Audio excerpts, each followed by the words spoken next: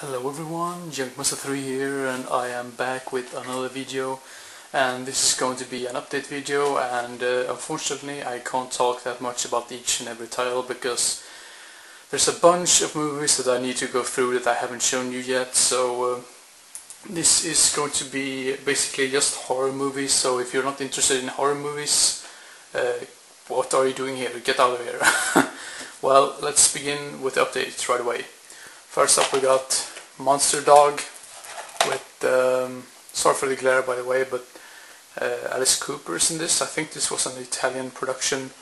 Uh, really glad to have this one in my collection. And then I picked up a movie by John Russo who also did Midnight and the movie is Dark Craving or Dark Cra or Craving.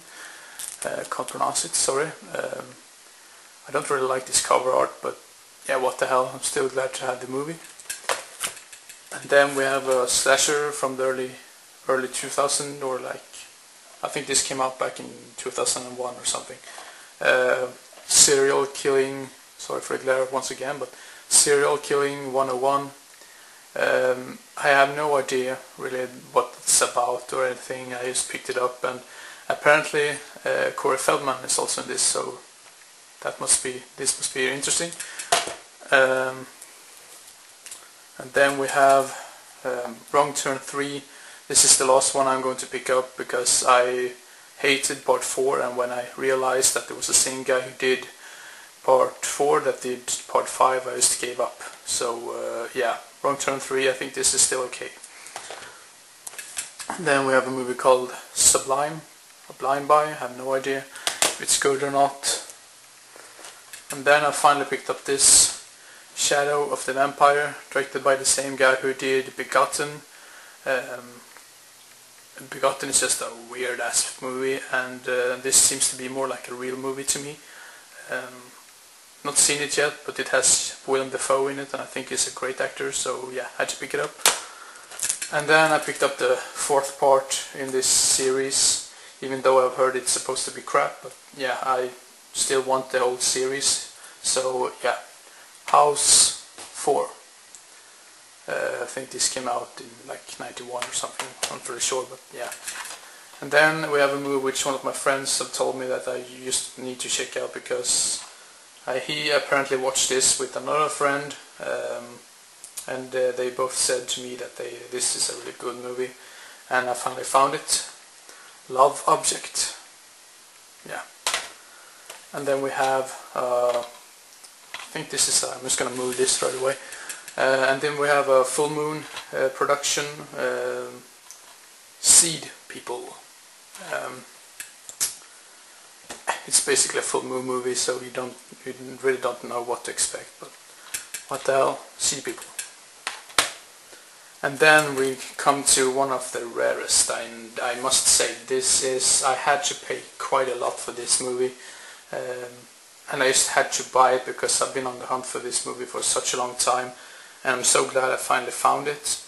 Um, even though it was very pricey uh, but yeah the movie is Clown House by the same guy who did Jeepers Creepers 1 and 2 and I don't want to go into any details about this movie because it is it has sort of a bizarre reputation to it about the production and stuff and I, I don't really want to go into any details about that but yeah Clown House uh, and then we have a movie called Blood Tide. This has to be some of the most boring cover arts that I've ever seen. That's just my opinion. Uh, it has uh, James Earl Jones in it, so yeah. And then we have the Swedish edition of the movie Piranha. Apparently it's called Piraya on the front for this cover art or this release. Um, to be honest, I I am not the hugest fan of this movie. But uh, I really enjoyed it part 2 uh, because it's so stupid that it gets funny so uh, but this is still okay so yeah I just prefer the sequel just because it's so hilarious so yeah.